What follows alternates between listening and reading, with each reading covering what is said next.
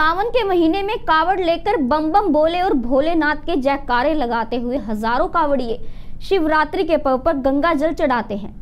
इस बार भी कावड़ियों में भारी उत्साह देखने को मिला है। हरिद्वार से विभिन्न प्रकार की कावड़ उठाकर भोलेनाथ के भगत कावड़िए अपने अपने अपने स्थानों पर लेकर पहुँच रहे हैं।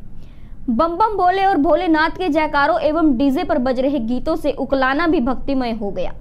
हरिद्वार से कावड़ लेकर चले कावड़ियों के लिए उकलाना में कई स्थानों पर शिविर लगाए गए।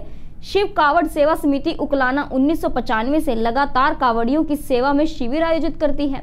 इस बार भी शिव कावड़ समितियों की उकलाना द्वारा शिविर आयोजित किया गया है, जिसमें कावड़ियों के लिए फ्रूट जूस और विभिन्न प्रकार की सेवा की जा रही है।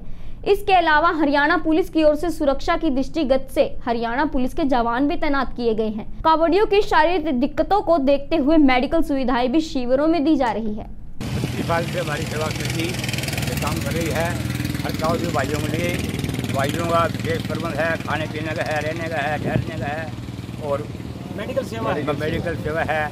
जो भाई गोलू के अखबार से कावड़ ले जाते हैं उनके लिए हर प्रकार का यहाँ समाधान है।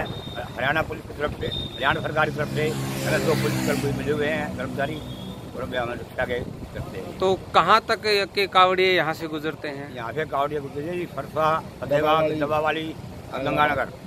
गंगानगर। तक के। तो कितने साल से आपकी सेवा समिति कार्य कर पच्चीस साल से कर रही है। ऐसे ही लेटेस्ट खबरें पाने के लिए सब्सक्राइब बटन पर क्लिक कर बेल आइकन को दबाएँ।